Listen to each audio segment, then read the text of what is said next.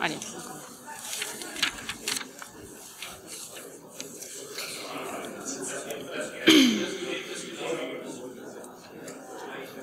So, we're to introduce a second section of the day. Now it's Peter Wald, I think. I think. The one. So I'd like to introduce a second section on uh, using um, a sentence from uh, Professor Veronaki when he said, if you do a monetary union without fiscal union, you see you have little problems. If you do a banking union without fiscal union, and he didn't conclude, that we could conclude potentially big problems. So the second part is about these problems, or potential problems, and discuss a bit more about the solutions. Um, well, the, the, first section we have two eminent speakers. We have Laurence Cialan, professor of economics at the University of Paris-Ouest Nanterre-La Défense. And she's also the director of uh, the economics department on money finance and intermediation in the, sorry, in the economics laboratory, which is one of the laboratory of the CNRS in France, National Center for Scientific Research. And on the other side, we have Mr. Rainer Stolhoff. He is the spokesman, or the representative maybe, of the project financial markets. And the first discussion is going to be mainly on the issues around the famous Likkonen report, uh, bank reforms Likkonen report. And just as a background, I thought it would be maybe interesting to know that uh, the EU Commission at the EU level uh, said they will come back with a new proposal in the summer. The EU Parliament has developed its own initiative report that has been debated yesterday for the first time, and there will be a short debate and um, amendment period until they come with also a proposal. So at the moment, it seems that uh, uh, at the EU level, it's still open. Um, maybe a bit less open at the French level, as we know, and maybe a bit more open at the German level. I think our two um, speakers may also touch on these aspects, EU, French, and uh, German. So Laurence, if you want to start. Okay. Um, okay. Thank you for this invitation and for giving me the opportunity to take part to your discussions. So uh, the specific topic of this roundtable is uh, prevention, how to build a resilient and sustainable banking system. Uh, I want to make a preliminary comments.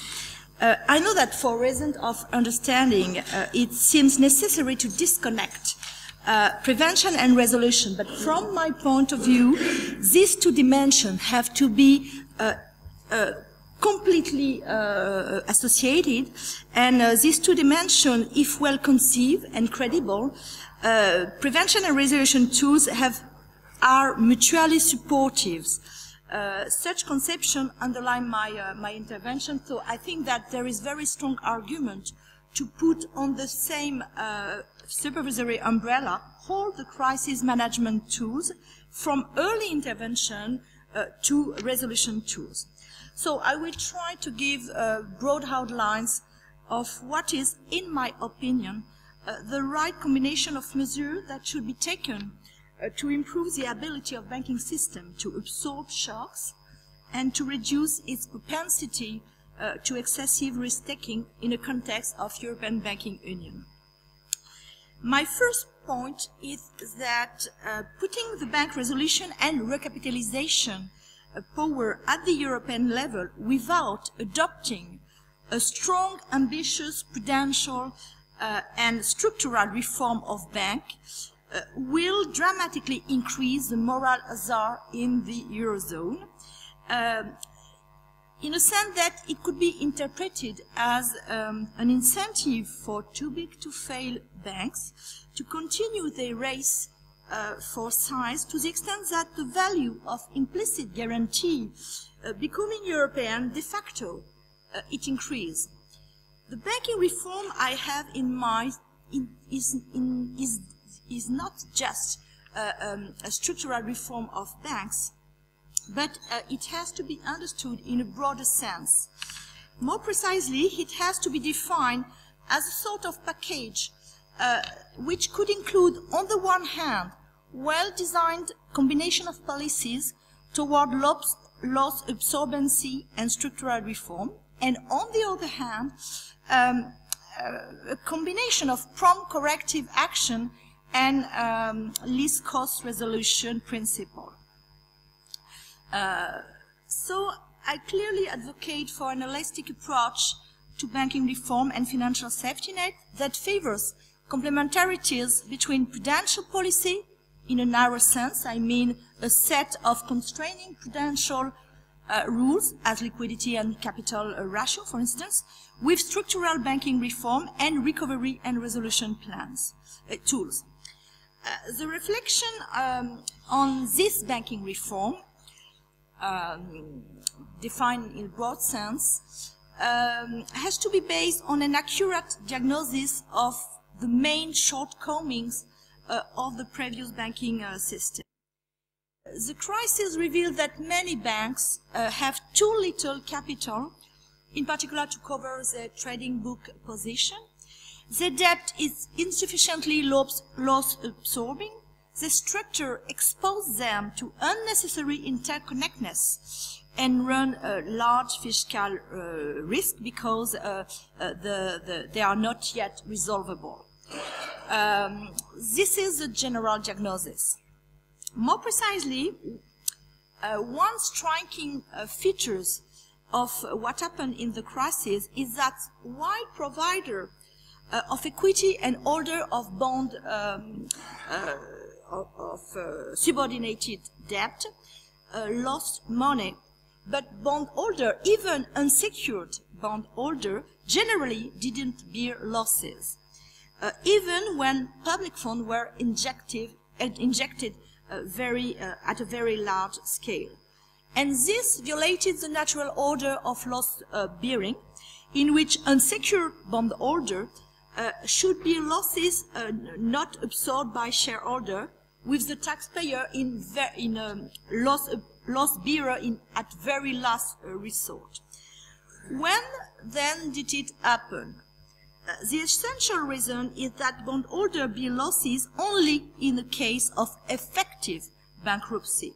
And government could not let bankruptcy happen because of the imperative of continuous core banking service provision. I mean deposits and uh, loan to, um, uh, to um, individuals and uh, medium and small enterprise.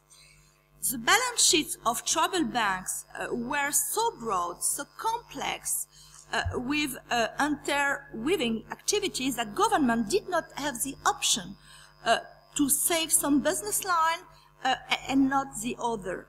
The organizational complexity uh, of global financial institutions, the opacity of their structure, dramatically reduced the free will of states uh, in case of bank distress. In particular, they could not target support on the core banking services whose continuous product uh, provision is vital. So, the scope of public support uh, was much more extensive than would have been necessary if banking structure had allowed the option of targeted policy intervention.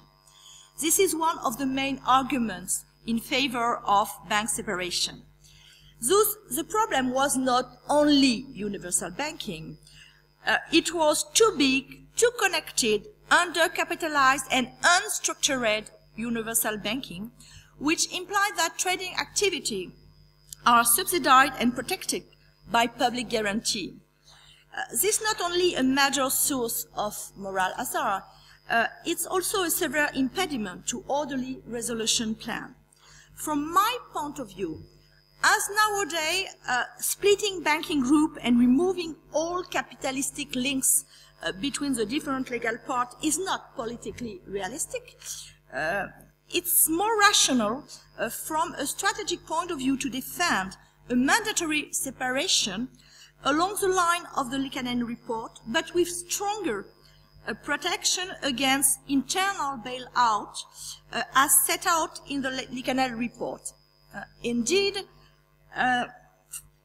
when um, if you keep under the same roof uh, in, uh, investment banking and commercial banking, even with formal separation through subsidiarization, uh, you, it's very crucial to um, uh, to um, to give credibility to this separation and to um, to impose that the, each part of the group respect its own capital and liquidity requirement and to uh, limit capital transfer and liquidity transfer in uh, within uh, the banking groups to be sure that the market does not perceive the group uh, as a whole. Uh, so even uh, if such banking, structural banking reform along the line of the Liikanen report is not my first best. Uh, I think that it could be a, a, good starting point for an ambitious banking reform and a potentially evolutive uh, reform combining the characteristic uh, I, I, previously mentioned of a, a broader, a, broader a banking reform in a broad sense. So, uh, what, is, what is the rationale of uh, uh for separation? Uh, we could summarize it as follow. First, it's a way of limiting the public guarantee to the sole deposit and credit bank. It's a way to reduce moral hazard and so to target policy intervention in case of distress to solve vital banking function. It's a direct instrument for tackling banks' complexity and interconnectedness knowing that complexity is one of the main channels uh, of political and supervisory capture by banking industry. So it's also a mean of fighting such capture phenomenon. Separation make easier the management of banks and the supervision both by the supervisor but also uh, uh by uh, informed bank creditors so promoting simpler, simpler bank structure uh, through separation could also be a way of reactivation of market discipline. With simpler bank structure, bank robustness and all fragility is easier to assess for outsiders. Uh, bail-in bonds being part of uh, the resolution device, they constitute right incentives to stimulate an effective market discipline because it becomes credible for bondholder uh, to be losses in case of bank distress. This is a good complement of the third pillar of Basel III, uh, which is dedicated, as you know, to uh, information disclosure. Indeed, the private monitoring of bank um, not, not only uh, need relevant information to assess bank, but need also right incentive for stakeholder to support the cost of collecting and processing information to assess banks. So bailing bond strongly reinforced the incentive of outsider to monitor banks uh, and the simplification of bank structure facilitates such monitoring. So they are complementary uh, measures. These different components of banking reform, I mean separation, simplification of bank structure, uh, bail-in bonds, information disclosure, are mutually reinforcing. That's also the case for my two last points. These two last points uh, concern the recovery and resolution plans, the, the living wills, and the prompt corrective action principle. They are the last two components of the banking reform I have in mind. More precisely, uh, as I said in my opening remark, I think that there is a kind of continuum between regular prudential policy and supervision and bank insolvency proceeding. A recovery plan should be conceived as a set of pre-insolvency uh, measures, and the severity and automaticity of such recovery plans constitutes a sort of protection against the moral hazard. Prompt corrective action policy codified uh, and structures a continuum between prevention and resolution and deal with uh, supervisory weaknesses. Uh, indeed, the financial crisis highlight the wide, widespread tendency by national regulator uh, and supervisor to side with the troubled bank uh, in hiding information uh, from public, in delaying loss recognition, and postponing corrective actions, thus magnifying losses. So transferring supervisory power to the European level in a prompt corrective action uh, device drastically alleviate the supervisory forbearance problem, which is part of the too big to fail problem. A prompt corrective action uh, device is structured by three main features. The first one is reliance on public uh, information uh, and public indicator on bank capital weakness to signal the need uh, of, for corrective action based on a set of pre-announced uh, threshold corresponding to remedial action uh, and of increasing intensity. Knowing that, that uh, risk-weight capital ratio uh, are not reliable indicators of weakening capital and risk position of bank. The second feature uh, is an obligation for supervisor to act when the trigger are crossed. So the supervisory action are mandatory. The third one is a sort of closer rule uh, at a pre-specified low but positive uh, level of capital. Supervisor has to engage in a resolution process uh, after a bank has crossed the trigger of critical under, uh, undercapitalization. Prompt corrective action has a triple merit. Being partly automatic, uh, it avoids the pressure of bank lobbies, or it alleviates the, the pressure of bank lobby. Being progressive, it addresses the deterioration of in-bank balance sheet early enough uh, to avoid involving the taxpayer most of the time. Using simple tools, it is transparent. So with prompt corrective action, normally resolution would become a residual function. The implementation of prompt corrective action involves the adoption of a special resolution regime for financial institutions in order to give credibility uh, to the closer rule, which is the cornerstone of the prompt corrective uh, action policy. Giving the regulator all the set of tools uh, to resolve all the systemic financial institutions, I mean bailing bonds, uh, bridge banks, uh, uh, acquisition by a private sector, a purchaser, a partial transfer of deposits and assets to good banks, uh, temporary public control, etc. Prompt corrective action could become a powerful instrument uh, to alleviate the too big to fail problem. The ex ante knowledge uh, of the regulator, um, uh, the ex ante influence of the regulator on the, the bank behavior is reinforced by the ex ante knowledge of the prompt corrective action associated to each trigger of intervention. The credibility of supervision is grounded on, on the predictability of the coercive action. Uh, in particular, the closer rule should be predetermined, predetermined and non-adjustable. Uh, trigger have to be defined in terms of crude leverage ratio, uh, so a leverage ratio on common equity, uh, and not in terms of risk weight uh, leverage uh, capital ratio, which has proved to be ineffective uh, to predict bank insolvency. Uh, the leverage ratio is easy to measure, publicly verifiable, hard to manipulate, it, it, it, operates independently, fully independently of any complex modeling assumption and calibration procedure, and so it alleviates the risk of regulatory uh, capture and regulatory arbitrage. Moreover, it seems to provide consistent forecasts of emerging trouble sufficiently uh, in advance for supervisor to intervene in a timely manner. So, with such prompt corrective action device, conceptually and operationally, there is a continuum between regular prudential policy, the gradual process of supervisory uh, coercive action, with pre-specified sanction associated with prudential, each prudential trigger, and bank insolvency proceeding. Uh, and the credibility and severity of the pre-insolvency measures, the early interventions, uh, protects the taxpayer against the moral hazard generated by the financial safety net.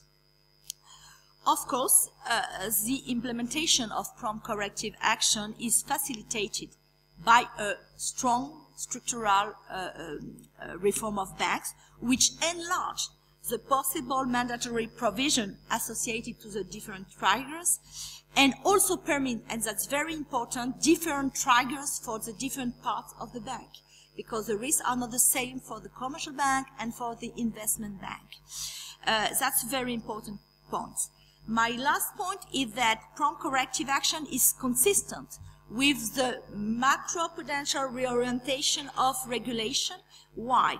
Because it could limit the build-up in leverage that leaves the financial system vulnerable to a uh, sudden reversal. So the rationale uh, for selling on leverage ratio, which is co a consistent uh, component uh, of prompt corrective action, uh, is that it binds during the offering period uh, the, the cycle the, of the cycle, and it constrains the banks either to raise new capital or to restrain their balance sheet growth, and that is exactly what we want, we want to, to do. So thank you for your attention. Thank you, Laurence. Uh, Mr. Stoloff.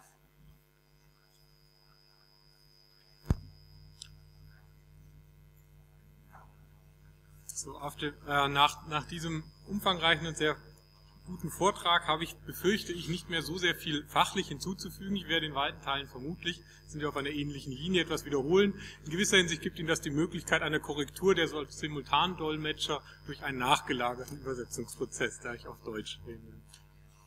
Ähm, die Folien sind allerdings auf Englisch.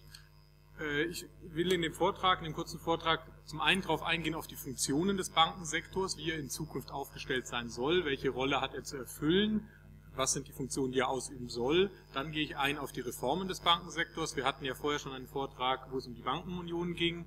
Hier will ich von meiner Seite nur stark betonen, dass die drei Säulen zusammengehören. Es ist ein bisschen missverständlich gewesen, warum im letzten Juni 2012 auf dem Gipfelbeschluss eine Aufsicht, die ja eher eine präventive Wirkung hat, beschlossen wurde und gleichzeitig eine staatliche Abwicklungsfinanzierung. Was fehlte, war eine Abwicklungsbehörde und ein Abwicklungsregime, was zu diesem Zeitpunkt sachgerechter meines Erachtens gewesen wäre. Worauf ich mich konzentrieren will, das sind die Strukturreformen. Das war ja auch das, was äh, das Thema dieses Panels sein soll. Natürlich sind auch Strukturreformen nur ein Teil einer größeren Reformagenda und können auch nur ein Teil sein. Man kann nicht mit einer Reform, mit einer Maßnahme alle Probleme, die es im Bankensektor gibt, lösen. Wird es auch nicht können.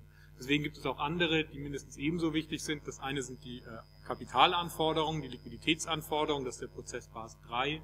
Das nächste ist sicher das Thema Governance und die internen Risikomanagementsysteme. Zum Schluss äh, war auch eine der Fragen, die zu dem Panel gehörten, einen kurzen Überblick über die Zukunft des Bankensektors. Vielleicht will ich beginnen, wenn wir über die Funktion des Bankensektors reden, mit zwei historischen Beispielen. Das eine, da kann ich rüberschauen, inwieweit Herr Professor Ton Verenacci, inwieweit ich das richtig ausspreche.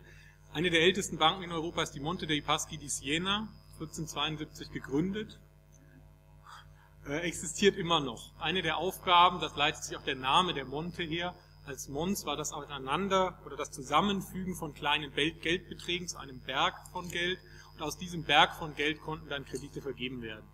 Dieses Einlagen- und Kreditgeschäft ist immer noch klassischerweise das traditionelle Bankgeschäft. Es ist immer noch ein stabiles Geschäft, seitdem hat es Bestand gehabt. Das andere Beispiel, was ich hier nenne, ist das Bankhaus Fugger. Man könnte als älteres die Banco Medici nehmen, die auch ungefähr um die Zeit gegründet wurden. Das waren Bankgeschäfte, in denen einzelne Kaufleute sehr stark äh, involviert waren in das Wechselgeschäft, das wäre heute ein Wertpapiergeschäft sehr stark, und eben in den Eigenhandel. Den Eigenhandel nehme ich hier in gewisser Hinsicht ist das schwierig. Ich zähle ihn jetzt als Funktion auf. Ich werde aber nachher noch darauf eingehen, warum ich ihn eigentlich nicht als originäre Funktion des Bankensystems ansehe. Schaut man sich die beiden historischen Beispiele an und schaut man sich an, wie lange sie gehalten haben, erkennt man schon auf dieser Ebene einen gewissen Unterschied in, der, in, der Risiko, in dem Risiko, was in dem Bankgeschäft liegt. Während die Monte dei Paschi di Siena bis heute noch besteht, geriet in Gefahr, weil sie ihr Geschäftsbereich ausgedehnt hatte und sich auch mit Derivategeschäften beschäftigt hat und dort große Verluste hatte, ist das Bankhaus Fugger nach nicht mal 200 Jahren wieder äh, Konkurs gegangen. Anders als heutzutage war das Bankhaus Fugger aber nicht too big to fail. Es wurde mit sehr viel Eigenkapital gehandelt, sodass diese Bank nach einem Staatsbankrott der Habsburger und entsprechenden Verlusten eben einfach dicht gemacht. In modernen Zeiten sind ein paar äh, Funktionen hinzugekommen, sehr stark für das Retail Banking wichtig ist die Gewährleistung des Zahlungsverkehrs. Das ist, glaube ich, das, was die herausragende Funktion auch im Dienstleistungssektor, äh, also die zentrale Dienstleistungsfunktion für die Gesellschaft ist, das, womit wir jeden Tag zu tun haben. Im Bereich des Investmentbankings ist sehr viel Risikoabsicherungsgeschäfte hinzugekommen. Da ist eines, was noch erwähnt wird, eine Tätigkeit ist das Market Making, dass also auch gewisse Produkte aufgenommen werden und die Bank einen Markt für gewisse Produkte herstellt. Ich habe jetzt hier eine Zweiteilung aufgeteilt. Man sieht die auch in anderer Weise, wenn man sich anschaut, was sind die vorrangigen Risiken. Die Funktion einer Bank ist, Risiken zu übernehmen, die aus der Realwirtschaft entstanden sind. Jemand hat eine zukünftige Erwartung, wie sich etwas entwickelt, er nimmt einen Kredit auf für das Haus, die Bank nimmt diesen Kredit, managt diesen Kredit, sie transformiert das Risiko dieses Kredites und gibt zum Beispiel eine Schuldverschreibung einer Bank raus. Das ist die Aufgabe einer Bank. Jetzt komme ich vielleicht zum Unterschied zum Eigenhandel. Im Eigenhandel im Gegensatz ist es sehr oft so, dass auch Risiken erzeugt werden, die gar nicht, die gar nicht von Anfang an äh, vorhanden waren in der Realwirtschaft. Das ist auch in gewisser Hinsicht der Unterschied zwischen einem Bankgeschäft, was auf realwirtschaftlichen Grundsätzen beruht. Es kann dann mehrere und komplexe Ketten geben, in denen dieses Risiko transformiert wird. Das ergibt aber einen Unterschied zu einer Wette. Bei einer Wette erschaffe ich ein Risiko, was vorher nicht vorhanden war. Es gibt keinen realwirtschaftlichen, keinen realwirtschaftlichen Hintergrund, sondern ich fange an, ein Risiko zu erschaffen, was vorher nicht gewesen ist. Ich denke, das gilt auch für weite Bereiche des Eigenhandels, wo Risiken geschaffen werden, die eigentlich gar nicht vorher im System vorhanden waren. Schaut man sich die Risiken an, so sind sie auch unterschiedlicher Art. Das eine sind auch eher längerfristige Risiken. Bei einem Kredit, den ich über eine längere Laufzeit vergebe, habe ich auch ein Risiko, was über mehrere Jahre hinwegzieht. Liquidität ist ein Beispiel, wo wir sehen, das ist etwas kurzfristiges. Wenn man sich aber anschaut, wie lange die Einlagen die meiste Zeit bei einer Bank bleiben, dann gibt es da auch einen stabilen Sockelbetrag. Das andere, das ist das eher im Investmentbanking angesiedelt ist, das Marktrisiko, was durchaus komplexer ist, weil es auch um kurzfristige Wertschwankungen geht, um Wechselkursrisiken oder gerade im Derivatebereich um das Counterparty, das Gegenparteirisiko, dass eine Gegenpartei ihren vertraglichen Verpflichtungen nicht nachkommt.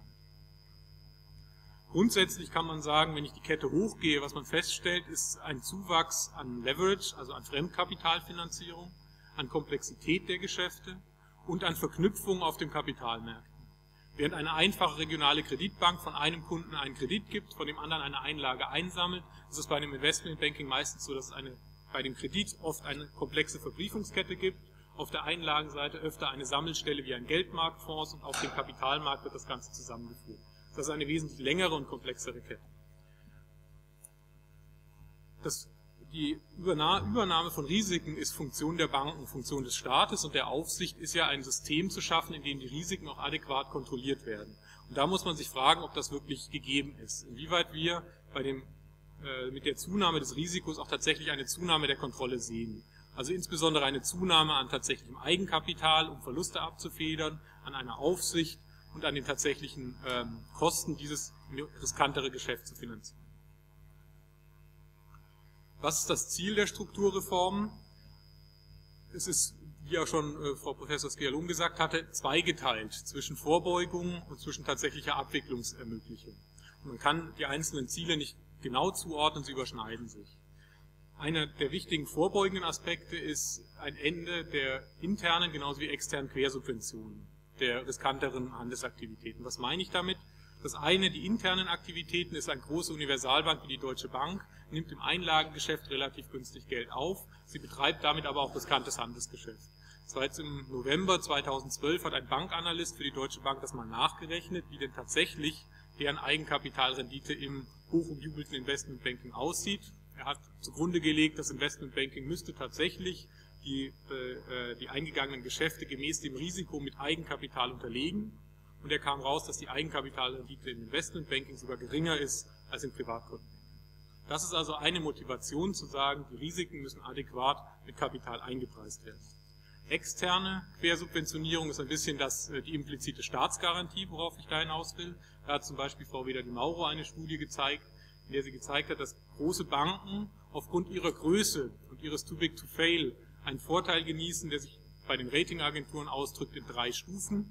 Das entspricht dann hochgerechnet in etwa 0,6 Prozentpunkten, mit denen sie nie weniger Zinsen zahlen als andere kleinere Banken.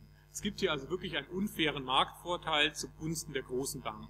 Das ist eine Wettbewerbsverzerrung und birgt das Risiko einer Staatshaftung. Die zwei weiteren Punkte ist zum einen die Querverbindungen. Wir wissen, es ist nicht too big to fail, sondern auch too interconnected to fail. die Querverbindungen zu reduzieren. Das gilt auch insbesondere für den Handelsbereich.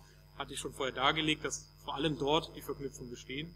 Und das dritte, das ist ein sehr starker Abwicklungsaspekt, ist in gewisser Hinsicht die Größe und auch die Komplexität des Bankgeschäfts zu reduzieren, um im Zweifelsfall auch die Bank oder einzelne Teile abwickeln zu können, ohne die Systemgefahr herbeizuführen. Was sind die Vorschläge?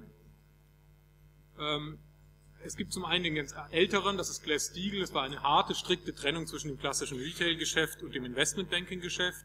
Es gibt dann einen anderen Vorschlag aus den USA, das war Herr Volker, der sich konzentriert hat auf ein Verbot des Eigenhandels. Das sind die wirklichen strikten Trennungsvorschläge. Ich habe jetzt auf der anderen Seite gegenübergestellt, das sind Trennungsvorschläge innerhalb einer Non-Operating Holding Company, in der selbstständige Töchter verschiedenen Geschäftsgebieten nachgehen. Da gibt es unterschiedliche Vorschläge, die Grenze wird immer an unterschiedlicher Stelle gezogen. Äh, angefangen von einem Herrn äh, Vickers, dem ECB, die in Großbritannien die Schwelle relativ retail nahe gezogen haben. Vielleicht hier eine Anmerkung, wir hatten heute Morgen eine Nachfrage von, dem, den Namen habe ich leider vergessen, Attack aus Österreich. Da ging es ja auch um Größengrenzen und inwieweit man einen Anreiz setzen kann, dass man sagt, bis zu 30 Milliarden seid ihr versichert, darüber hinaus seid ihr dem freien Markt unterworfen. Ein bisschen ist das ein Ansatz, den man auch bei den Vickers-Vorschlägen sieht. Das internationale Geschäft, das Investmentbanking-Geschäft ist rausgenommen worden aus den Sicherungseinrichtungen und das Geschäft in den Sicherungseinrichtungen wird stärker überwacht. Es gibt eine Kritik daran, die sich in einem einfachen Satz zusammenfassen lässt. Das Opfer sperrt man ein und den Täter lässt man laufen. Das ist ein bisschen auch die Schwierigkeit mit diesem Ansatz, weil die Risiken im Investmentbanking gehen ja nicht dadurch weg, dass sich sie schwächer überwachen. Die sind ja immer noch da. Und dort alleine dem Markt das zu überlassen, diese Risiken zu regulieren, wäre meines Erachtens nicht der richtige Ansatz. Also man muss beide Aspekte gleichermaßen überwachen. Äh, ein anderes war ein Vorschlag von äh, der Likanen-Gruppe. Dort ist man ein Stück weiter gegangen und lässt auch Risikoabsicherungsgeschäfte zu. Das ist, denke ich, auch sinngemäß. Wir haben von SPD und Bündnis 90 Grüne gemeinsam einen Antrag, in dem wir uns den Likan-Forderungen anschließen, mit einer ähnlichen Ergänzung wie Frau Professor Skialom. Komme ich nachher noch darauf zu sprechen. Denn ähm, die Absicherungsgeschäfte dienen ja gerade dazu, für eine Bank ihr Risiko besser zu steuern. Da ist jetzt die Frage, warum sollte ich einer Bank das verbieten? Warum sollte ich einer Sparkasse, die eine sehr starke Fristentransformation vornimmt, viele Kundeneinlagen hat und langfristige Kredite vergibt, warum soll die sich nicht anderswo eine Risikoabsicherung für genau diese Fristentransformation besorgen? Aus Sicht der Sparkasse ist es nur wünschenswert, dass das weiter möglich sein soll. Die letzten Vorschläge, das waren die aktuellen im Februar, war dann, äh, oder im Dezember noch in Frankreich von Pierre Moscovici und hier in Deutschland von äh, Herrn Schäuble. Da ging es darum, tatsächlich nur den Eigenhandel innerhalb einer Holding Company auszulagern. Das ist also in gewisser Hinsicht von all den Vorschlägen, die ich gezeigt habe, so ungefähr der, der kleinste, das Minimum dessen, was an Vorschlägen kursiert ist. Ähm, schauen wir uns die Trennung an. Es kommt sehr stark darauf an, natürlich, wie denn diese Trennung vorgenommen wird. Ich habe hier nur mal beispielhaft ein paar Beispielbanken dargestellt. Das eine wäre eine große tatsächliche SIFI-Bank, die in Form einer Holding jetzt auf jeden Fall den Handelsbereich abtrennen müsste. Sowohl äh, im Likan-Report als auch in unserem Antrag ist auch vorgesehen, in Teilen weitere Trennungen vorzunehmen, wenn es denn nötig wäre. Dort würde ich einen eher pragmatischen Ansatz äh, wählen, indem ich sagen würde, das ist die Aufsichtsbehörde, insbesondere abgeleitet aus den Abwicklungs- und Restrukturierungsplänen einer Bank wo eben Abwicklungshindernisse aufgedeckt werden, wonach dann etlich in gewisser Hinsicht weitere Trennungen nötig sein könnten. Äh, schaut man nach ganz unten, sieht man, dass auf eine gewisse Art und Weise wir innerhalb Deutschlands zumindest schon eine Art Trennbankensystem haben. Und zwar innerhalb des Haftungsverbundes zum einen der Sparkassen, als auch der Genossenschaftsbanken. Dort haben wir sehr viele kleine regionale Kreditbanken, die das Retail-Geschäft betreiben. Und wir haben einige wenige äh, Zentralinstitute oder Landesbanken, die das Kapitalmarktgeschäft betreiben. Also hier haben wir schon eine rechtliche, eine bilanzielle Trennung. Jetzt kommt die Frage, bisher ist es so, dass es sehr starke Ansteckungsrisiken gab innerhalb des Haftungsverbundes. Nicht ganz so stark vermutlich wie innerhalb einer und der gleichen Bank, aber es gab diese ähm, Ansteckungsgefahren, was für Grenzen man zieht. Da würden wir auch zustimmen, dass man sagt, man muss hier zwischen den riskanten Handelsaktivitäten und dem Retail-Bereich eine Grenze einziehen, sowohl innerhalb der Bank als auch zwischen verschiedenen Banken. Am besten lässt sich das vermutlich bewerkstelligen über äh, Großkreditgrenzen, also äh, Large Exposure Regimes. Ähm, und in der Hinsicht war es auch so, dass der Vorschlag von Herrn Schäuble weit zurückblieb, weil er dort nicht unterschieden hatte. Es ist in gewisser Hinsicht so, dass eine Handelseinheit als genauso riskant angesehen wird im Hinblick auf die Großkreditgrenzen wie eine Retailbank. Das ist nicht mehr sachgemäß. Schaut man sich an, wie viele Banken denn betroffen wären, ich habe hier, ich weiß nicht, ob es lesbar ist, ist ein Auszug aus Bankscope, wo ich einfach mal nur dargelegt habe, wenn man jetzt bei 20 Prozent der Bilanzsumme abschneiden würde und gucken würde, welche Banken betreiben denn solche Geschäfte.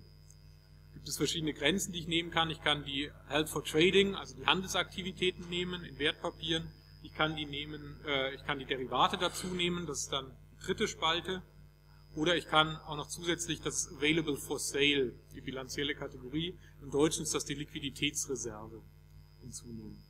Wenn ich dann anschaue, welche sind denn die Banken, die betroffen wären von dem momentan kursierenden Gesetzesvorschlag, dann sind es zunächst einmal relativ viele, was aber vor allem an der Liquiditätsreserve liegt, in die Banken sehr oft einfach nur aus bilanziellen Gründen Positionen haben, die sie vielleicht mal später verkaufen könnten. Sie haben keine direkte Handelsabsicht, es geht da mehr um die Liquiditätssteuerung. Das als Handelsabsicht oder das als Handelsrisiko darzustellen, ist meines Erachtens nicht das Richtige. Es gibt auch genug Banken, es gibt auch genug Möglichkeiten, dieses wieder umzuwidmen, sodass man unter die Schwelle fällt. Deswegen denke ich für die Beurteilung, wie viele Banken tatsächlich von so einer Maßnahme getroffen werden könnten, ist eher die rote Spalte oder markiert mit den roten Sternen. Wir sehen, dass zumindest die großen Banken, äh, also die großen Banken, Universalbanken, die riskantes Geschäft betreiben, auch betroffen werden würden. Es stellt sich aber die Frage, warum kleinere Banken jetzt ein stärkeres riskantes Handelsgeschäft fahren dürfen, wenn man es den großen ja aus gutem Grund verbietet. Komme dann äh, zu den letzten zwei Folien zum Ende. Das ist quasi der Wunsch.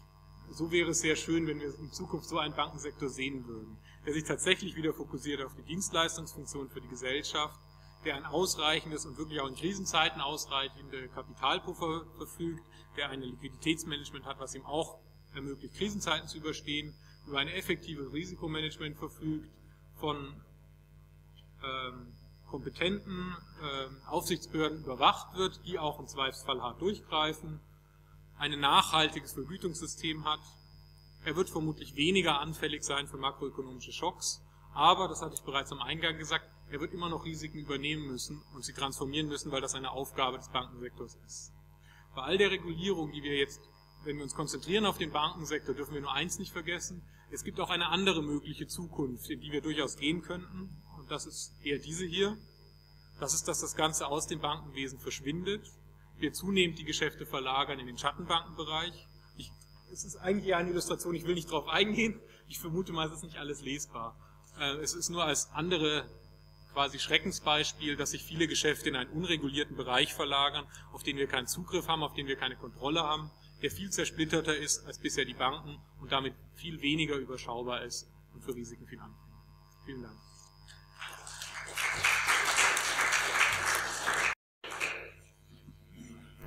Um, we have about 40 minutes for discussion, which is great. Um, and I think we had two very different uh, contributions, even though the, the, the message is the same. Uh, we had on uh, Laurence Yalom's side um, support for prevention and resolution tools that need to be comprehensive and consistent and mutually supportive. Uh, uh, separation, yes, but mandatory separation, stronger protection against internal bailout, even though it's not her first choice, as she mentioned, and a possibility for evolutive reforms. And Mr. Stolhoff, I think we had a, you know, big difference between uh, traditional banking and investment banking. One is more long-term, less risky. The other one is short-term, more risky.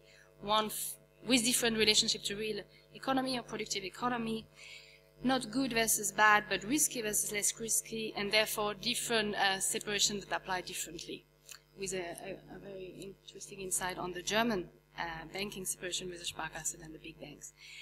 I wanted to give, before we open, I wanted to give the opportunity to the speakers to ask each other a question if there is a wish. It's not, not obligatory, only if there is a wish, otherwise we just open. No, so we should open. Maybe we take some questions and the first the lady, the gentleman and the gentleman, and then we go on that side if that's fine. Äh, ja, guten Tag, mein Name ist Elke Fimmen von der Büso. Ich habe eine Frage. Und zwar, wenn wir jetzt anschauen, was in Zypern passiert, was die Größendimension des Derivateproblems ist, kann man ja sich doch äh, des Eindrucks nicht erwehren, dass wir mitten in einem einer Kernschmelze sind des Finanzsystems. Und was heute ja noch nicht, es wurde einmal kurz von der Dame vom NDR angesprochen, die Frage der Gelddruckerei durch die EZB, die Frage der Hyperinflation. Das sind ja doch alles Dinge, die diesem Tsunami ähneln, von dem heute Morgen auch mal kurz die Rede war. Also diese Schockwelle, die da kommt. Meine Frage ist, oder sagen wir so, wenn wir diese Dinge jetzt alle anschauen, mal raus aus der akademischen Debatte, ist es nicht aller, allerhöchste Zeit, wirklich eine entsprechende scharfe politische äh, Message zu senden, so wie es Roosevelt damals gemacht hat mit dem Glass-Steagall. Sie haben es ja gezeigt als die sozusagen das Vorbild der, der Bankentrennung, der strikten Bankentrennung, ähm, wofür ja im Übrigen im US-Kongress ein Gesetzesvorschlag von Demokraten vorliegt, der mittlerweile im neuen Kongress schon 41 Co-Sponsoren hat, der sehr, sehr kurz ist, sehr, sehr klar und der auch das Schwergewicht darauf legt, den sozusagen den, ähm, also die, den Boden zu bereiten für das, was Roosevelt dann ja auch gemacht hat, nämlich den New Deal. Also das heißt die wirkliche Kreditschöpfung, auch staatliche Kreditschöpfung für die Realwirtschaft, weil das ist ja die große Frage, wo wollen wir hin? Bei der Jugendarbeitslosigkeit. Die haben all diese Probleme. Aber ich würde Sie doch bitten, dass Sie da mal auf die, also wirklich brandheiße Lage eingehen, mit der wir es heute zu tun haben. Und da scheint mir einfach vieles wirklich zu zeitlos bisher, was da diskutiert wurde. Weil es kann ja sein, dass es Bankenpanik gibt, wenn die Banken aufmachen. Also wir stehen wirklich vor der Kernschmelze. Und die Frage ist, kann die Politik das Heft in die Hand wieder zurückgewinnen oder muss man sich auf eine Finanzdiktatur einstellen? Dankeschön.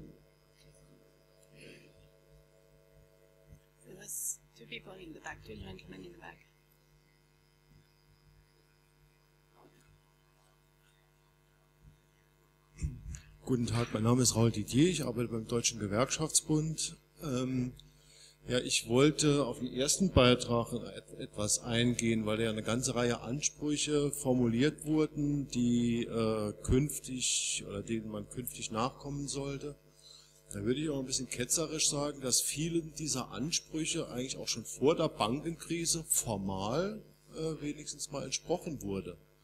Also ich fand das äh, in während der Aufarbeitung der, der Pleite oder der beinahe Pleite oder Desasters, man es nennen möchte, der HRE sehr bezeichnend, als Jochen Sanjo, damals äh, Chef der deutschen Finanzaufsicht, sagte, man hätte gar nicht früher eingreifen können, oder er hat auf, oder andersherum gesagt, er hat auf den Umstand aufmerksam gemacht, wie das im deutschen Kreditwesengesetz geregelt ist.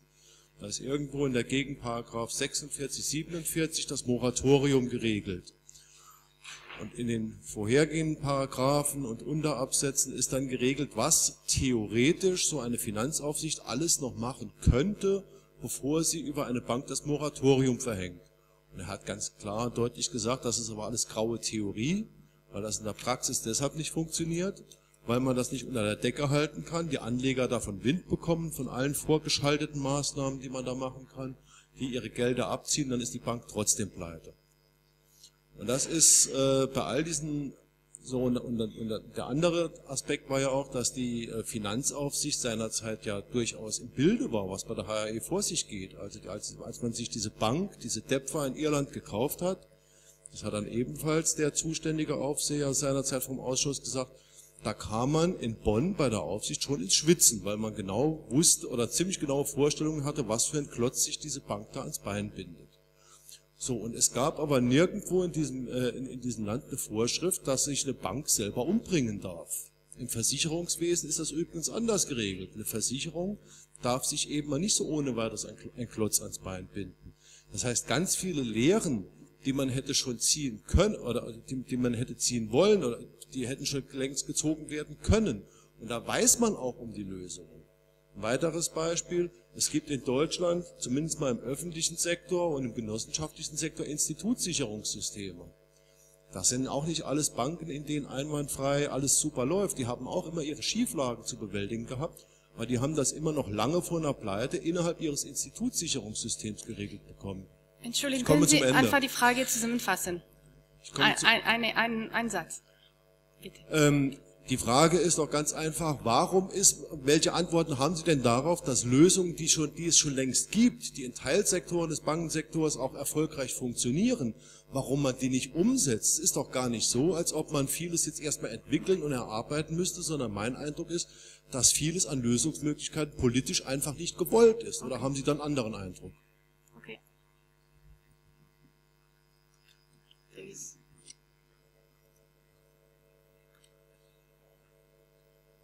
Ja, mein Name ist Philipp Hersel, ich bin Mitarbeiter von Axel Trost im Bundestag. Ähm, die Frage des Trennbankensystems war ja eine der wesentlichen jetzt ähm, in den Vorträgen.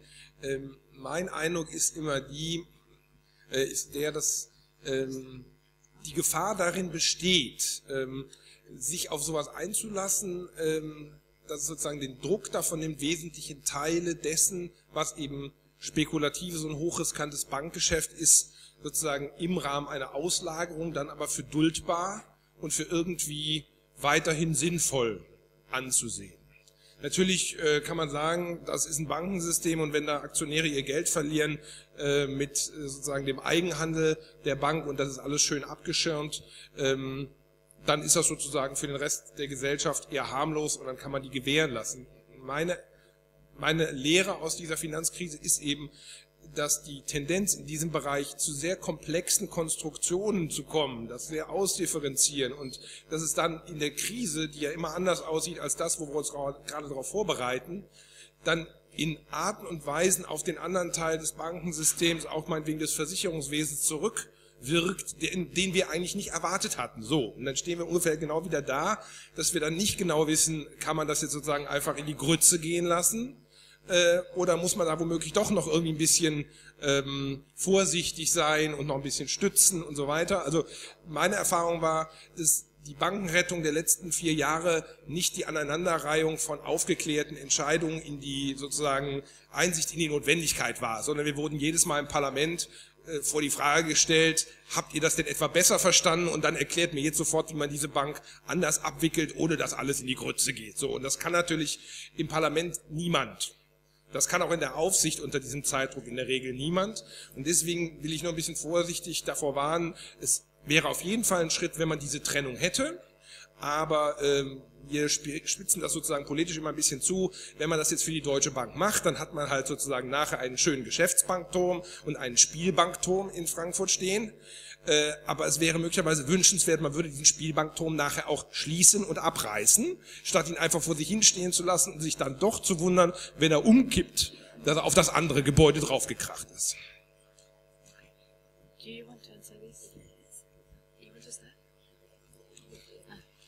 Maybe the last, if, if I can summarize what I understand, the last question is, um, okay, you split or you, imagine you split into entities. If you still have an investment bank that becomes too big and without any control, you still have a problem. And uh, that since four years, new banks come for bailout or come with problem to political and uh, to politicians. And uh, we expect from politicians to get a clear message to bankers that have you understood you need to behave differently, but this is effectively ineffective. Is that more or less the point you want to make? Is that good enough?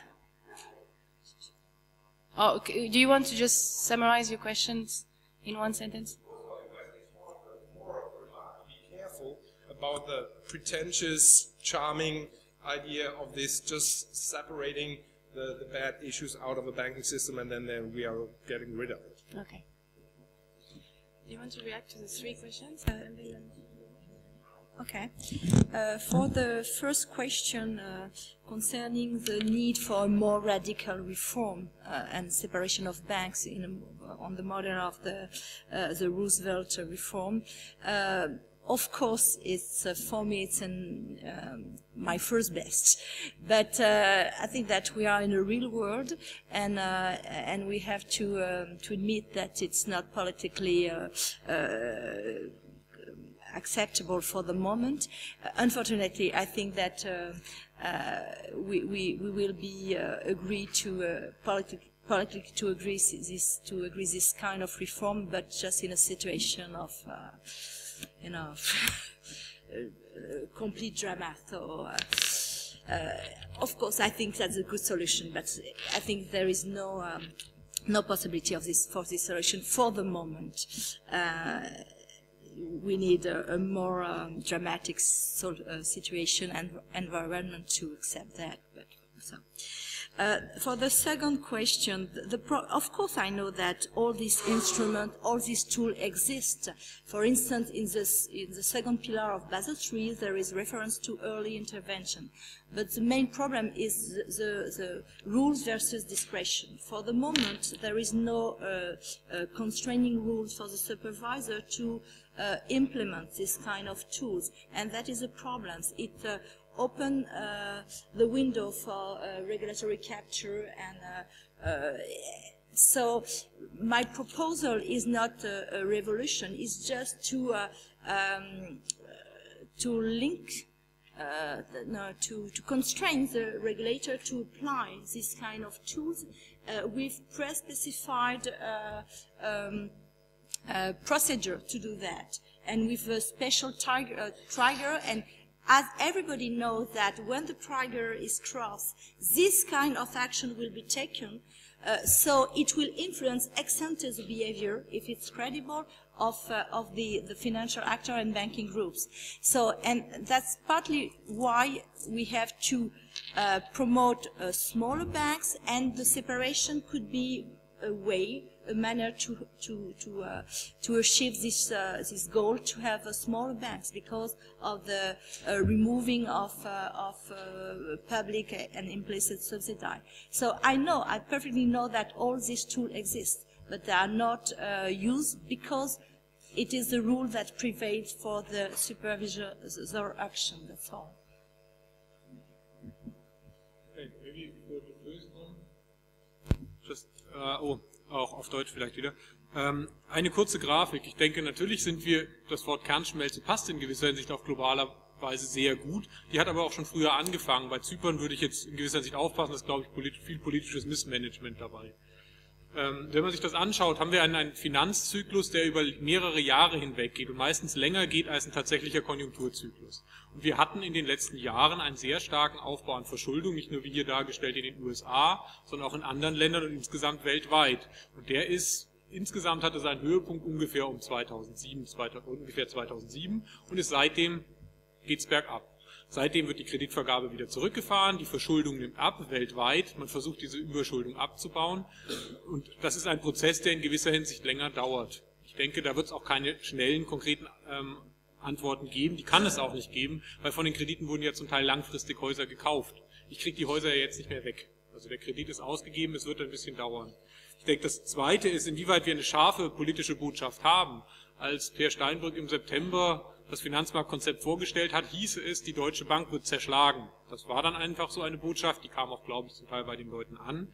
Ich denke aber, sonst muss man aufpassen, wenn man auf ein komplexes Problem nach einer einfachen Antwort sucht. Weil entweder ist es nicht die richtige Antwort oder, das ist ein bisschen das Beispiel der Volcker Rule, es ist keine einfache Antwort. Das war erstmal klar, Verbot des Eigenhandels, aber wenn man sich anschaut, was dann daraus geworden ist, das ist nicht mehr einfach. Also da sollte man sich keinen falschen Illusionen hingeben. Das Bankgeschäft ist in Teilen ein kompliziertes Geschäft. Das hat aber nicht unbedingt nur mit der Finanzwesen zu tun, sondern auch damit zu tun, dass wir eine, in Deutschland eine Exportindustrie hat, die in verschiedensten Bereichen, in verschiedensten Ländern interagiert und dort tätig ist auf den Märkten. Das ist, hat nichts direkt damit zu tun, dass es Exzesse gibt im Finanzsystem. Keine Frage. Es gibt dort Exzesse, es gibt dort Dinge, die schiefgelaufen sind, vieles, was schiefgelaufen ist, aber es wird nicht eine einfache Antwort geben, sondern wir müssen an vielem ansetzen, an den Vergütungssystemen, an der Eigenkapitalunterlegung, darin, dass wir gewisse, ich finde das schon ein Fortschritt, gewisse riskante Geschäftstätigkeiten verbieten oder so weit auslagern, dass sie so teuer werden, dass sie im Zweifelsfall keiner mehr betreibt. Also wenn ich mit meinem eigenen Geld spiele, kann es vielleicht sogar günstiger sein, soll es in Zukunft günstiger sein, ich gehe ins Casino, als ich betreibe Eigenhandel. Ähm, also es gibt gewisse Dinge an verschiedenen Bereichen, muss man was machen. Ich glaube nur nicht, dass es die einfache Antwort geben wird.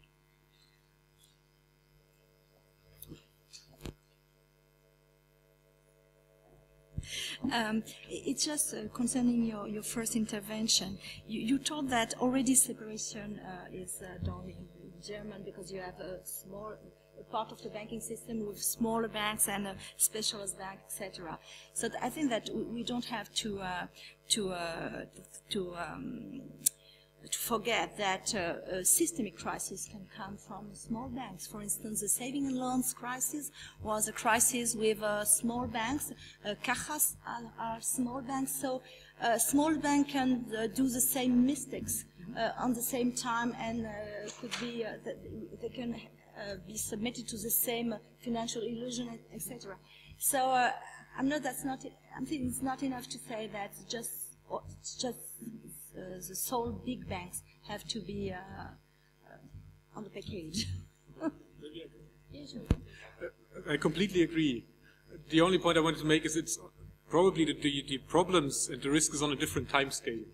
Lehman Brothers was on a very short and fast time scale and it hit mainly investment banks involved in trading activities. Um, Spanish banks, for example, there was a buildup of a, of a real estate bubble that could be seen for years. So that is a different problem. And also where you address it, I guess it's also a different point where to address these problems. In large uh, uh, CFI institutions, you can address it at a single bank. However, in Spain, you would have to address it on a macro-prudential level. But I completely agree. There were some questions in that corner. And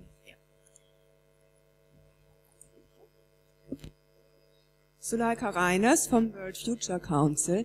Ich habe eine Frage an Herrn Dr. Stollhof. Und zwar finde ich den Gedanken interessant, zu sagen, mit den Trennbanken, man hebt damit diese Quersubventionierung auf von Einlagengeschäft und Handelsgeschäft. Ich habe das auch gehört von Professor Reinhard Emunds, der vertritt das auch, dass man so den Kredithebel, der zum Aufblähen führt, beschränkt. Ich frage mich nur, wie entscheidend ist dieses Einlagengeschäft als Kredithebel? Denn es wird ja viel gehebelt. Also das eine ähm, ist über Derivate, aber auch über die Wertpapierleihe. Wertpapiere werden verliehen und nochmal verliehen und nochmal, nochmal, nochmal. Ähm, also was dieses Aufblähen, Kredithebel betrifft, was sind da die größten äh, Faktoren? Ist es wirklich das Einlagengeschäft? Und was haben Sie da vielleicht sonst noch an Vorschlägen, wie man etwa mit der Wertpapierleihe umgeht? Danke.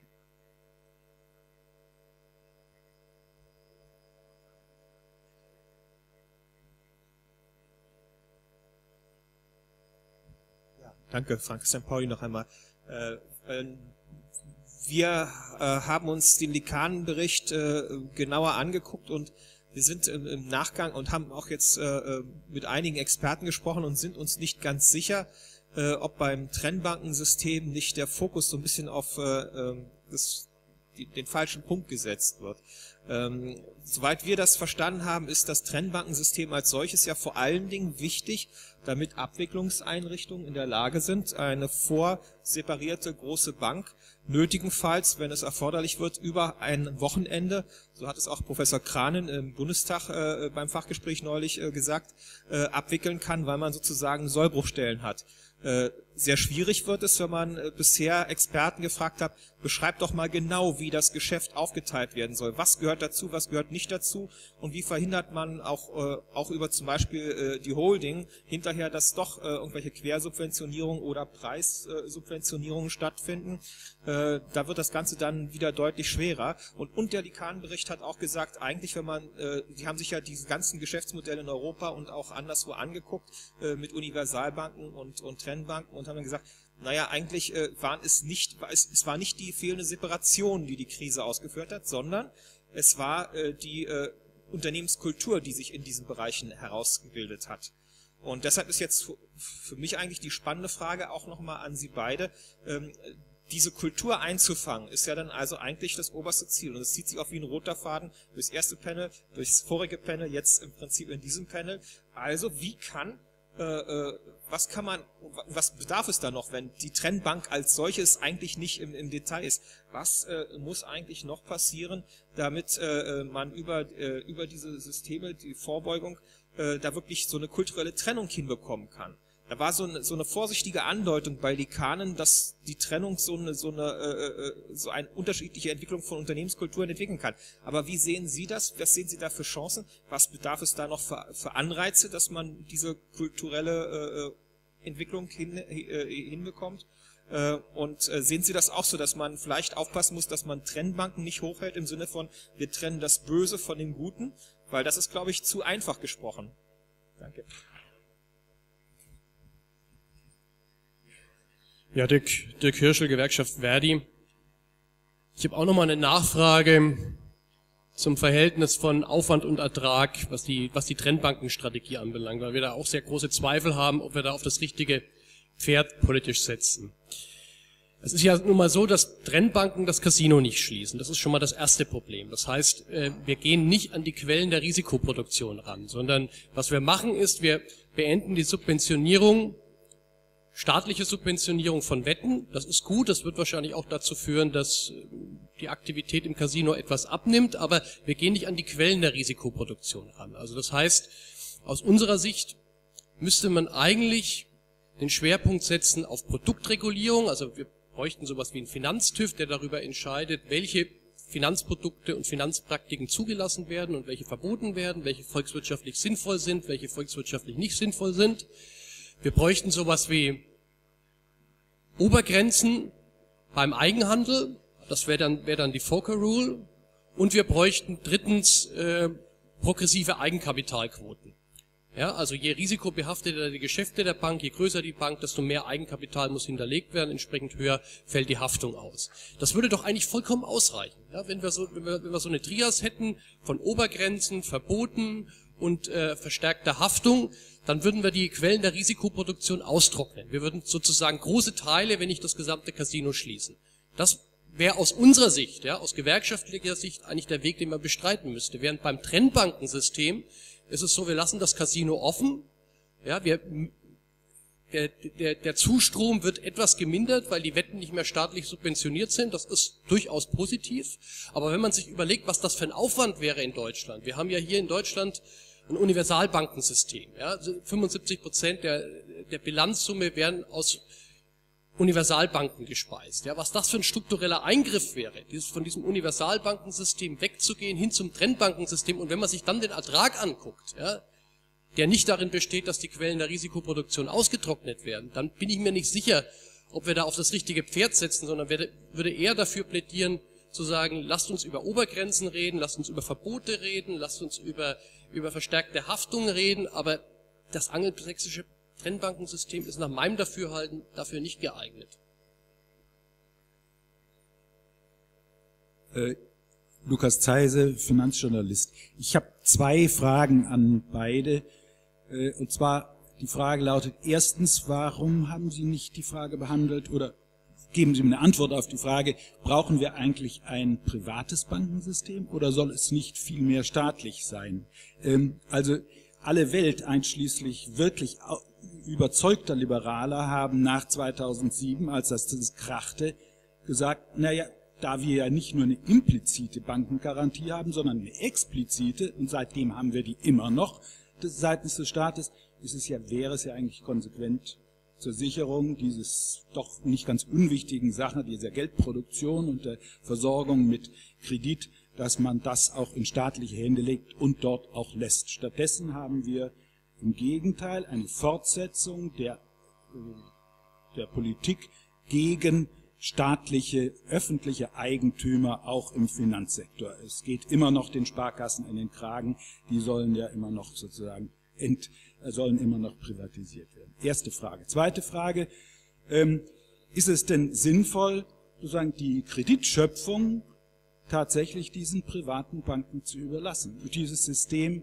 äh, kann ja nur funktionieren dank der Staatsgarantie, die da läuft, aber äh, das ist dann diese, das ist ja eine grundsätzliche Frage und die möchte ich eigentlich von Ihnen dann für die Struktur des Bankwesens dann auch beantwortet haben.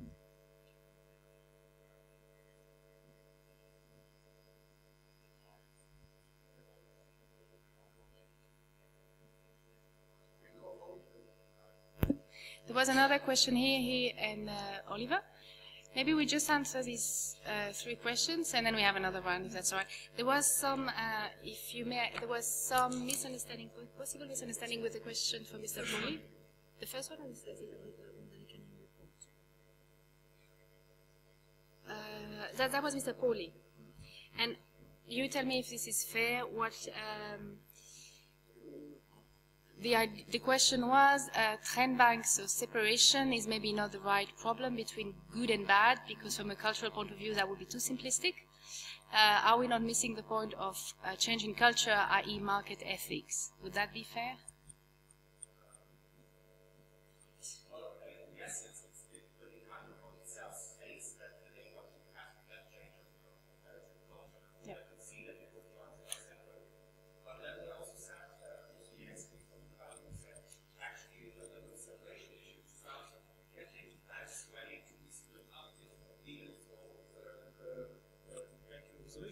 So, so that, that, that is the issue, and, and that we sometimes focus uh, pretty, pretty boldly on, on, on the separation, while the separation itself is only a tiny element of preparation to have a, a, a resolution scheme ready to be, uh, to be a threat to banks uh, to behave, because otherwise even bigger banks can be dissolved.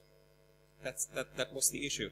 So it was an interesting, different interpretation of the Likana report uh, to what you discussed, and that I, I, would just like to have your your opinion on on this uh, point of view. Is is this is is the is the separation the important aspect, or is the separation just a, a part of the tool to get uh, uh stuff uh, uh, change change into a, a different development? And what are the further developments?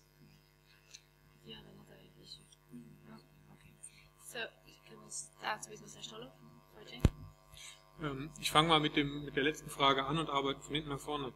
Brauchen wir private Banken? Wären die staatliche Banken besser? Ich weiß nicht, die erste Antwort, die mir einfällt, wäre, schauen Sie sich die WestLB an. Das ist kein besonders gutes Beispiel, wie eine Staat... Hm? Das ist eine kurze Antwort. Ich denke, das ist auch eine der Schwierigkeiten im staatlichen Kreditgeschäft. Wenn ich mir das anschaue, wie dann dort eben aus politischen Motiven Kredite vergeben werden, nicht aus wirtschaftlichen, aus finanzwirtschaftlichen, dann kann es sehr oft dazu kommen, dass das Risiko nicht im Einklang, also das Risiko falsch dargestellt wird. Und die Gefahr sehe ich eben über eine politische Einflussnahme. Ähm, Macht es eben schwierig. Was anderes sehe ich im Sparkassenbereich, die sind viel stärker unabhängig als eine Landesbank. Ich sehe auch weiter einen Bedarf für dieses Bankenmodell. Ich habe nur nicht das Gefühl, dass es ausschließlich oder dass es quasi ein gutes Argument ist, um zu sagen, wir wollen keine privaten Banken mehr haben. Das Problem sehe ich, dass wir eine Staatsgarantie haben in gewisser Hinsicht, klang ja von mehreren an, eine, eine implizite Staatsgarantie haben für die Privatbanken und genau die gilt es ja zu bekämpfen und zu beenden. Genau das wollen wir ja erreichen. Ich denke, in der Hinsicht ist eine Trennung ein guter erster Schritt. Nicht, in, in gewisser Hinsicht wird es wahrscheinlich auch die Unternehmenskultur verändern. Ähm, weil auch innerhalb der Deutschen Bank gibt es diese Zweitrennung, diese Zweiteilung in der Kultur, die ist aber in den Geschäftsbetrieben nicht sichtbar so sehr, sondern es ist weiterhin noch so, dass sich die Investmentbanker die Gewinne zuschreiben können, die aber sie selber gar nicht erwirtschaftet haben, sondern die hat das Privatbanking erwirtschaftet. Und damit habe ich schon ein gewisses, äh, ein gewisses Auseinanderklaffen von dem, wie ich meine eigene Leistung bewerte und dem, was sie tatsächlich war. Und das ist ein weiteres Problem. Und deswegen ist, denke ich, diese Verstärkung gibt. Das Risiko eingehen gut ist, weil wenn es gut geht, kriege ich einen höheren Bonus und wenn es schlecht geht, geht ja die gesamte Bank pleite. Also da würde schon, denke ich, eine Trennung auch ansetzen und diese Anreize nehmen. Ähm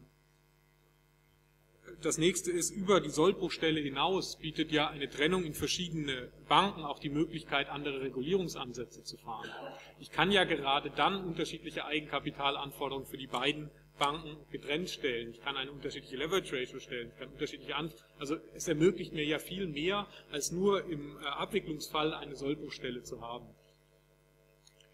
Ähm, Aufwand und Ertrag. Die Quelle der Risikoproduktion, das ist das, was ich vorher versucht hatte zu sagen. Dort, wo es um eine Wette geht und Risiken neu geschaffen werden, die sollte man verbieten. Keine Frage. Aber es gibt eben auch sehr viele Risiken, die anderswo produziert werden und die dann im Bankgeschäft landen, weil das ist die Aufgabe des Bankgeschäfts, mit Risiken umzugehen. Ein Beispiel ist eben ein, ein, ein deutsches exportorientiertes Unternehmen, was in die USA exportiert. Und sofort hat es ein Wechselkursrisiko. Und das ist schon eine Aufgabe der Bank, dieses Wechselkursrisiko zu managen und damit umzugehen. Und um dieses Wechselkursrisiko zu managen, gibt es eben Derivate. Das bringt mich zum nächsten. Es ist nicht so, dass ich an einem Produkt ablesen kann, ob es gefährlich ist oder nicht, sondern es ist die Verwendung des Produktes, die das Entscheidende ist und das Risiko ausmacht. Das ist ja auch das, was Volker unterscheidet von Glass-Steagall. Während Glass-Steagall versucht hat, auf Ebene der Produkte die Grenze zu ziehen, das ist auch einfacher möglich.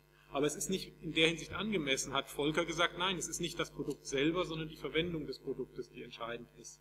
Ich denke, das ist eine, eine, eine schwierige Geschichte. Es ist auch schwierig, diese Trennung zu ziehen.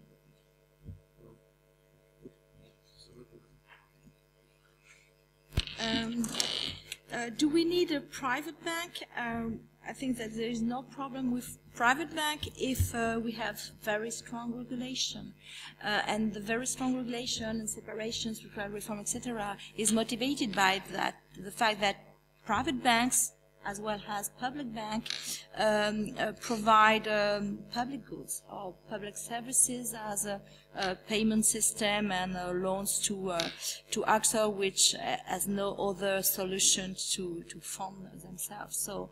So uh, I, I, have no problem with private bank uh, if the state is strong enough to impose them the the um, the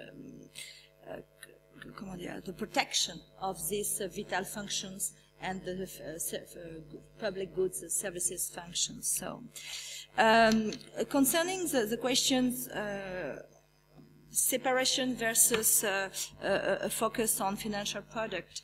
Um, you said that um, separation does not tackle the, the, the, source of the risk because it keeps the casino uh, bank open. Um, I think that, and, and, so we have to focus on the, on the regulation of financial products. I think that it's not, uh, um, these two kind of solution as not alternatives, as complementary. So of course we have to, uh, to, um, uh, to, to impose uh, uh, a kind of um, um, uh, how can I say that? Uh, all the financial innovation, the new financial product, and the the, the, um, the financial techniques have to be uh, collectively uh, approved. And in fact they have to prove that uh, they are not nocive for the collectivity. Uh, and uh, so we can perfectly have the position and have this position to say we have to go to the separation because of course we, we, we keep open the, the casino bank but has if the separation is credible, uh, the, the remove, we remove the, the, the, public guarantee and so we reduce the size of the casino bank. And we have also uh, the, need to, the need to, um, to uh, increase uh, the regulation on financial innovation and to, uh, Uh, to prohibit uh, financial innovation project practice which can be can be proved to be nocive for the society. That's not a, that's not an alternative. It's complementary. So. Mm. We have three last questions. Peter Wahl, Christoph Nijdam, Oliver Rötig. And if you could be short in your question and short in the answers, that would be great so we could finish on time for the next panel. Peter Wahl-Wied äh, an Herrn Stollhoff äh, folgendes. So sympathisch vieles ist, was Sie sagen. Ich sehe auch die Gefahr, dass wenn man das Investmentbanking laufen lässt, äh, dass man sich dann ein lang bestehendes Problem der Herausbildung des Finanzkapitalismus nicht stellt, nämlich das Geld, dass Ersparnisse in diesen Sektor weiterfließen, solange die Profite dort höher sind. Das ist ja eines der Erzübel, das hat dann arbeitsmarktpolitische und so weiter Wachstumskonsequenzen, ich brauche Ihnen das nicht zu erzählen. Deswegen äh, verstehe ich nicht ganz, äh, wieso Sie äh, sozusagen davor äh, kapitulieren, jetzt auch in Ihrer Programmatik, diesen Sektor so umzugestalten, äh, dass das, was darin noch sinnvoll und nötig ist, volkswirtschaftlich noch übrig bleibt, aber der Rest äh, trotzdem ausgetrocknet wird. Dass das geht, dass es da Mittel gibt, gibt es gute Beispiele. Nehmen Sie die Finanztransaktionssteuer, die muss auch nicht unterscheiden zwischen nützlichen und unnützlichen Spekulationen. Indem sie erhoben wird, werden jene, die eben häufig spekulieren, bestraft und das wird unrentabel und für jene, die das nicht tun, ist es eine unbedeutende Quantität negligible. Und wenn man solche smarten äh, Methoden äh, anwendet, finde ich, kann man auch die äh, das Investmentbanking in den Griff kriegen und seine negativen Seiten. Und meine Frage, warum wollen Sie das nicht anpacken?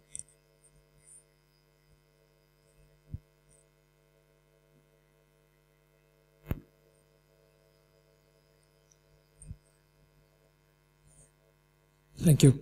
Uh, so my name is Christoph Nishdam. I'm a bank analyst and I'm a former corporate and investment banker.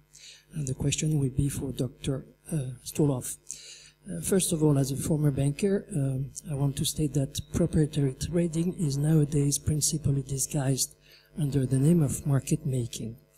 And this is especially why the Likkonen report recommended to put all market making activities into a ring fence subsidiary. The French banking bill, which is being discussed today in the French Senate, did not do that. I understand that the German banking bill won't do it either. I think that those two banking bills, French and German, will derail the Likkonen report. My question is, what can possibly justify the fact that the derivative notional contracts of Deutsche Bank amounts to 24 times German GDP, 50,000 billion euros. If you only had a move, negative move of 0.1%, 10 basis points, that's 50 billion euro loss. That wipes out Deutsche Bank's equity in one sweep. According to the International Bank of Settlement, BIS, 93% of derivative contracts are traded among financial institutions and only 7% by end users. Let's call it the German exporters. The 93%, that's the casino bank. So if I apply that ratio to Deutsche Bank, the casino derivative banking at Deutsche Bank is 22 times German GDP, and the legitimate market making activities is only two times GDP. One last point, uh, because I don't want to feel that I'm attacking Deutsche Bank, we have exactly the same problem with the largest French bank, exactly the same type of relationship, 24 times French GDP, and that's with my friend BNP Paribas. Thank you.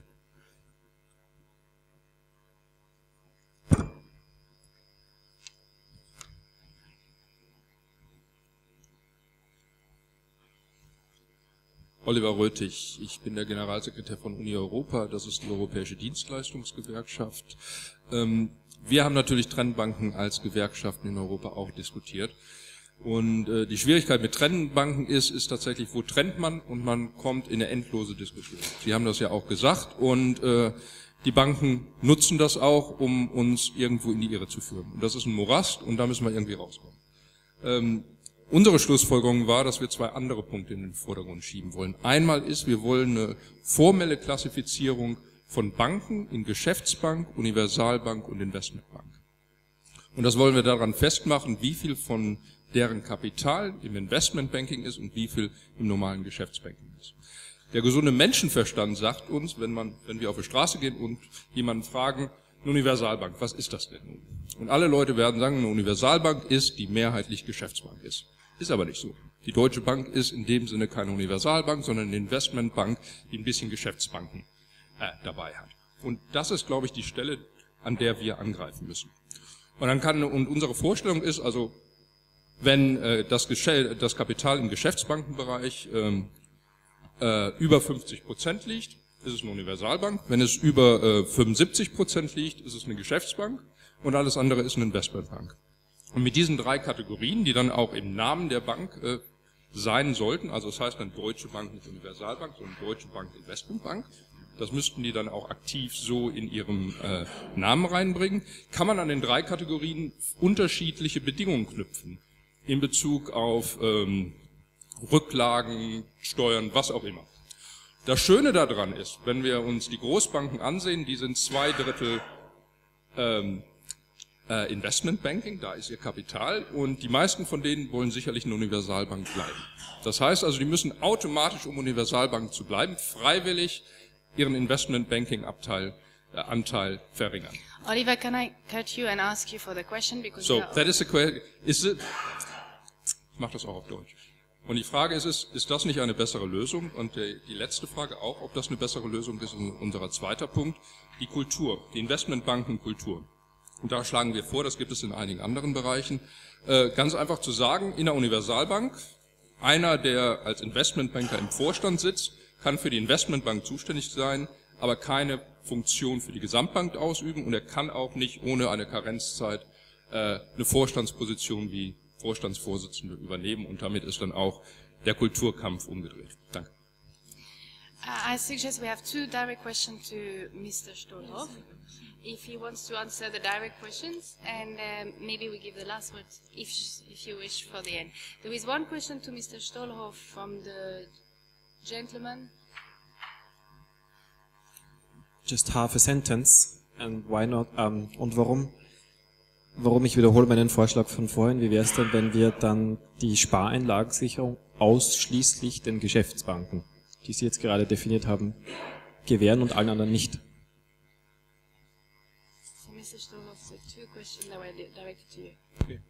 Um, I got three, but uh, then I skipped the first one. No, I think there was better than direct question. I think, Oliver, you wanted to propose another solution. Okay. And please react Um, to the solution proposed. Äh, Wir unterstützen die Finanztransaktionssteuer. Die ist ein sehr gutes Instrument. Äh, Wenn ich mir überlege, aus, äh, ich war davor auch Bankaufseher, was das Äquivalent wäre, dann wären es eigentlich Eigenkapitalunterlegungen. Ich würde die Geschäfte entsprechend teuer machen. So wie ich mit einer Finanztransaktionssteuer eine hohe Umschlagshäufigkeit teurer mache, kann ich mit einer Eigenkapitalunterlegung spekulative Geschäfte teurer machen. Ich habe nur das Gefühl, das kriegen wir nicht das ist sehr schwierig, das im Einzelfall genau das Risiko des, des einzelnen Geschäfts zu bemessen. Deswegen ist eine zusätzliche harte Trennung durchaus nötig, weil sie einen einfachen Schnitt macht. Bei einer Finanztransaktionssteuer habe ich ja keinen Schwarz, ist ja kein Schwarz-Weiß-Schnitt, sondern so eine kontinuierliche Lösung. Und ich denke, eigentlich ist hier auch kein Entweder-Oder, sondern es sollte beides sich ergänzen. Zum einen höhere Eigenkapitalanforderungen, sind wir völlig mit einverstanden für die Banken, die riskantere Geschäfte betreiben. Zum anderen aber auch eine Trennung der Haftung, eine Trennung des Managements, eine Trennung der Bilanz und eine rechtliche Trennung unter einer Holdingstruktur dieser beiden Bereiche. Ähm, Dass das Geld in den Sektor fließt, in dem die Profite am höchsten sind, das ist in gewisser Hinsicht leider so. Ich muss nur sagen, ich verweise auf die Studie von Christoph Hein, das ist nicht unbedingt das Investmentbanking, da täuscht man sich. Da wird sehr viel getrickst, sehr viel Bilanzkosmetik betrieben. Also ein anderes Beispiel, was er dort hatte, ist die Veräußerung von Unternehmensanteilen der Deutsche Bank. Die wurde im Investmentbanking verbucht. Ich weiß aber nicht, was das für eine Leistung der Investmentbanker gewesen sein soll. Aber damit haben sie ihre Profite erhöht. Also es ist nicht unbedingt so, dass dort die Profite dann höher sind.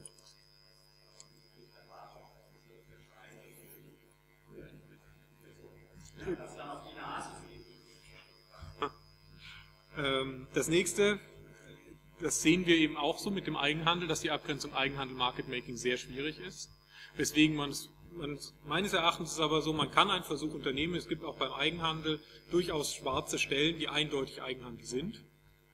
Es gibt einen weiten Graubereich, den man, das ist auch die Aussage von Herrn Volker, nicht unbedingt a priori sehr gut festlegen kann. Dann hat man 900 Seiten Gesetzestext, den man aber ex post statistisch meistens eingrenzen könnte. Etwas, was man machen kann. Aber da sind wir schon auch wieder im Bereich Market Making, wo ich aber durchaus diese, diese Schwierigkeit sehe.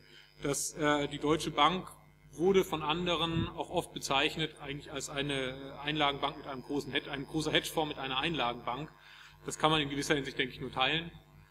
Aus mathematischer Sicht ist es, glaube ich, schwierig, wenn man die Summe der Nominalkontrakte nimmt und guckt, wie die sich bewegt, weil oft sind Banken, das ist das, was ich verstanden habe, Investmentbanking einfach auch sehr faul und schließen ein Gegengeschäft ab, anstatt das alte aufzuheben. Aber ich glaube, das wissen Sie besser als ich.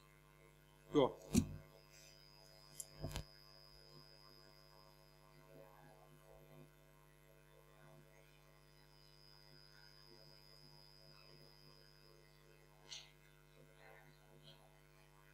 Just a time to change the panel uh, to give a chance to the next panelist to come and sit and please stay in the room if you can. Thank you. Two minutes.